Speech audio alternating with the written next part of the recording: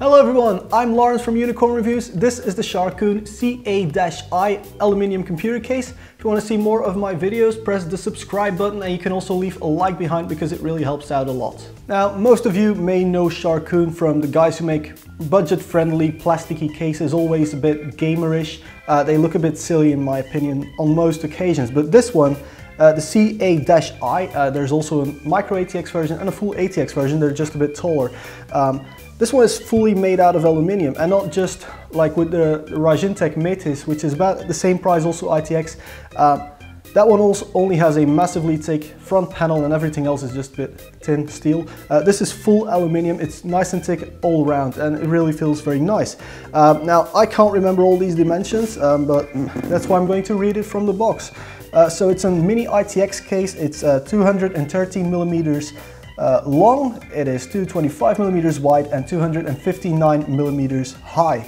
Um, so basically if you want to put graphics cards in, you have to keep that in mind. We have a maximum length for graphics cards of 20.7 centimeters. Uh, your CPU cooler can be 10.5 centimeters high and power supplies can be 18 centimeters tall. Uh, so keep that in mind when specing stuff for this because it is a fairly small case as we'll see later. Um, there's room for one hard drive and an SSD or just two SSDs in the bottom. And uh, that's pretty much it for this box. So if you pick it up in a store, this is what the box looks like, but no one ever buys cases in a store anymore these days. Alright, so the case comes in this lovely soft foam and I wish every case maker ever made all their packaging from soft foam. It's so much nicer. It's this, oh, I love this sort of foam. Way better than the, the normal styrofoam the usual guys include. But there she is. Um, if the table is a bit blown out, uh, that's the only way to do it really because it's a black case. Uh, now what you can see is this lovely, really, really lovely brushed aluminum all around. So the front, the top, the sides, the back, all of that lovely brushed aluminum. And also really, really nice feature in my opinion is this top panel. Uh, there is a fan in there, it's actually this fan. Now, it's a quite weird thing because it's, as you can see, it's only 20 millimeters. Well, you can't really see the exact thickness of it, but it's not a full thickness fan. Uh, full thickness fans do fit in there, and this one has a Molex True and a uh, tree pin for your fan stuff. That's all really nice, but there are no um, screw holes there, so that's, I just love that sort of stuff. It just makes everything look a lot cleaner. Now we have two USB 3.0s here. Uh, the connector on the inside is either the normal 3.0 connector and there's also a little break off to a 2.0 connector because the board in this PC doesn't actually have onboard, 3, uh, onboard USB 3.0. So that's all really nice. Uh, on this side we have a power button. Uh, there's no reset button and the light around it is also a hard drive activity light. There's just a little red light on the side. Um, below that, and I really don't want to touch it with my hands too much, um, but we have two USB 2s and a microphone in and an audio out cable right there. Also a little Sharkoon logo there. Um, as you can see, it's all incredibly clean. Now on this side, we have the motherboard uh, mounting. Um, so there's nothing there. Now on the other side though, that's where we have our power supply intake. Um, so the power supply have, has its own in and out of air, you know, it doesn't heat up everything else.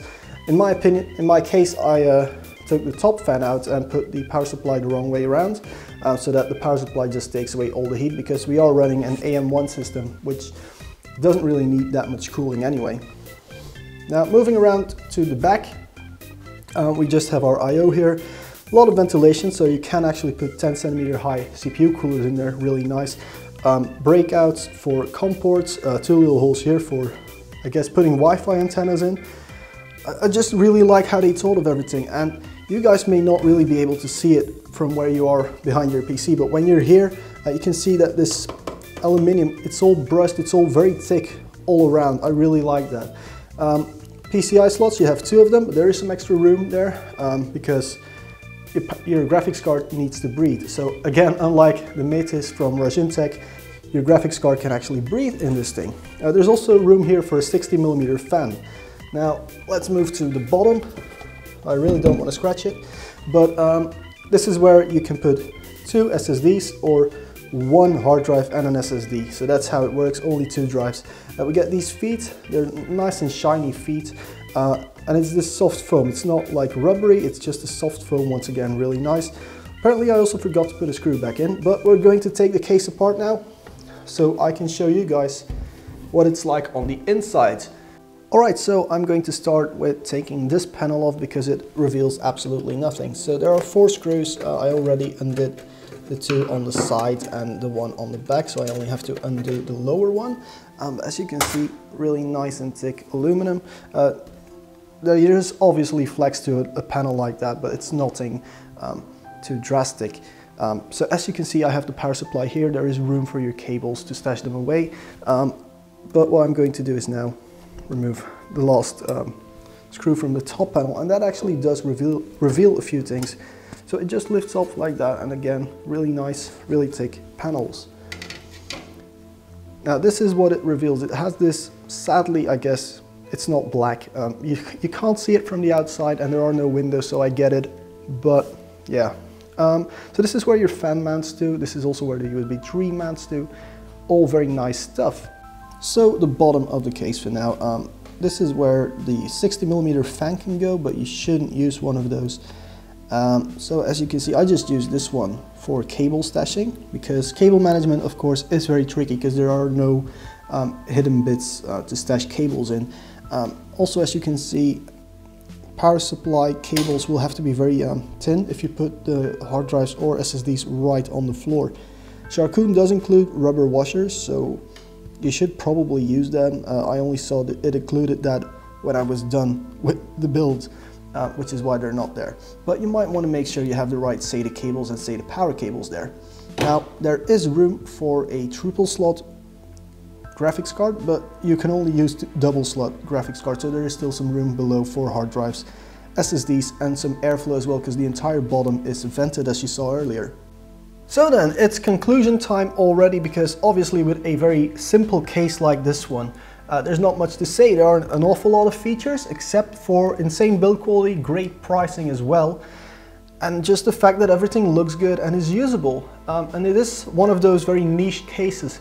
Um, so some of the negatives I could normally come up with, um, like hard drive room and stuff like that, um, they're, they're not a valid point with this particular case because it's not intended for it. Um, and so the only negative I can really say about it is the fact that it does pick up fingerprints rather, uh, rather quickly. So maybe they should find some sort of coating um, to not make it such a fingerprint magnet.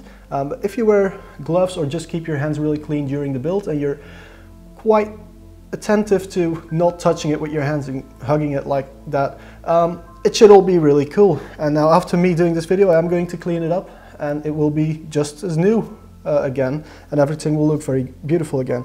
Um, so that was pretty much my review of the Sharkoon CA-I. Um, for those wondering what it's like with the M-ATX and the ATX versions, they're identical, they're just a bit taller and you get more PCI slots. They're also slightly more expensive, but in a case of this budget, of this price range, it's you know great, uh, especially when you take build quality into consideration. Anyway guys, if you like the video, press the like button. If you dislike the video, press the dislike button. You can leave a comment behind. You can find me on Twitter, Facebook, also on Patreon. Uh, that one really helps out a lot with getting me better gear and lights and lenses and cameras and audio systems, all that sort of stuff. Um, so yeah, that was pretty much it for this video. Thank you very much for watching.